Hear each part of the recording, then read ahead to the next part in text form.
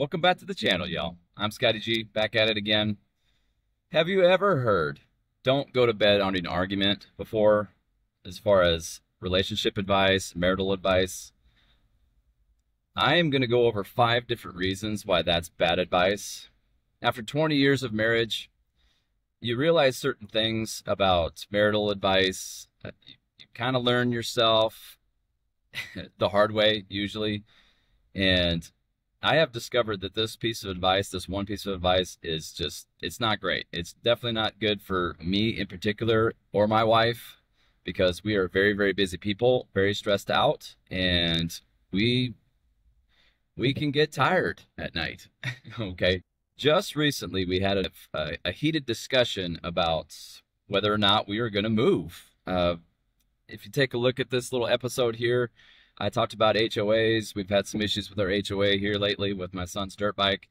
And honestly, we had a, a pretty frank discussion about leaving the neighborhood and moving somewhere else so nobody could can bother us. So it was late at night. I was tired. She was tired. And what would have been just a normal conversation to us ended up being a bit of a heated argument. And that's just a plain example of why this is just terrible advice. So, reason number one most likely the argument is going to escalate because you're tired. All right. When you're tired, your emotions have a tendency to be pretty high. Your tolerance is a lot low. Uh, it's a lot lower. And your reasoning can be a little skewed. There's all kinds of studies when it comes to sleep deprivation uh, where they'll study people's reaction time, their mental capacity. They'll do math problems, you know, before and after sleep deprivation. And they say it's actually any task that you do during the day is going to be three to five times harder if you're sleep deprived. So that goes for an argument too, or a, a discussion. Uh, so that can easily escalate into something that it normally wouldn't have. All right, so that's reason number one. Number two, you're going to have a tough time putting things in their perspective. Okay, this goes for men and women.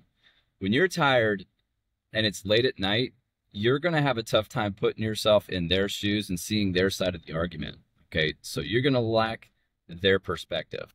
And you're, you're going to miss the bigger picture, whether this is a fight worth having or not. Okay, arguments serve a purpose in a relationship. You are going to fight. If you're married long enough or if you're in a relationship long enough, you are going to disagree. Nothing is perfect. The all or nothing marriage, that's kind of a new thing in the 21st century, it seems like. You are going to have tough times. You're going to argue. Those arguments serve a purpose because that's how you grow together as a couple.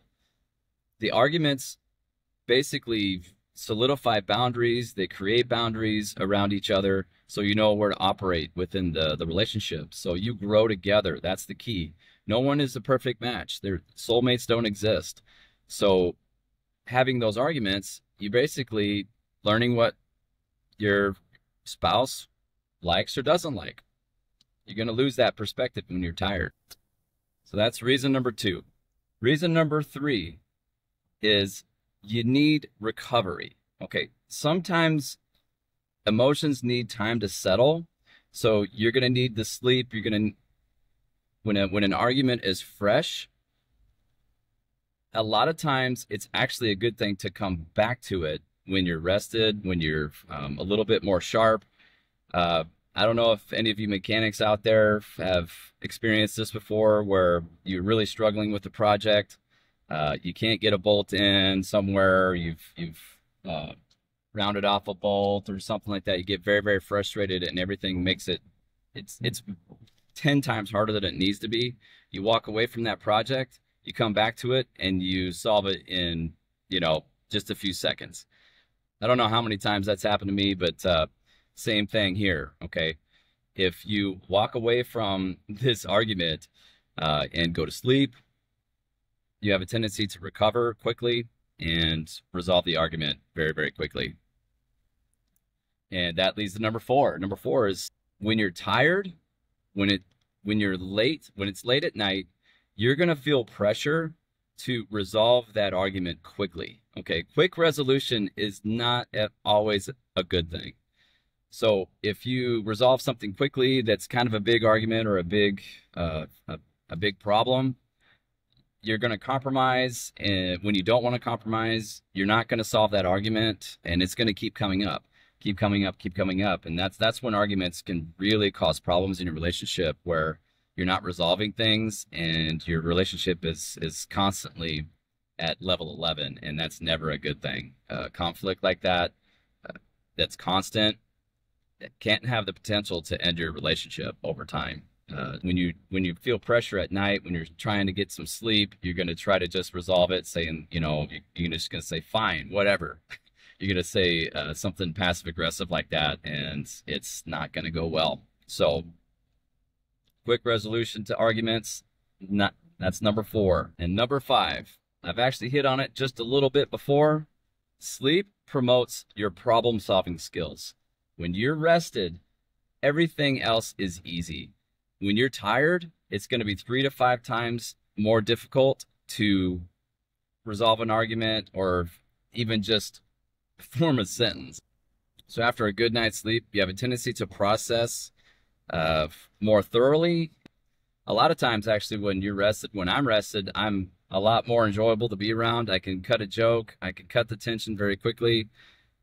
That kind of stuff does not happen when I'm tired. Uh, and it's late at night and I just want to get some sleep. That's never a good thing, ladies and gentlemen. So there's your five reasons why never go to sleep on an argument is bad marital advice, uh, bad relationship advice. So if you like this content, please hit that subscribe button. For those who have already hit it, I really appreciate it. Just getting started with this channel. It's about six months old. Could really use your help to get the word out. So until next time, be better than you were yesterday and be desirable.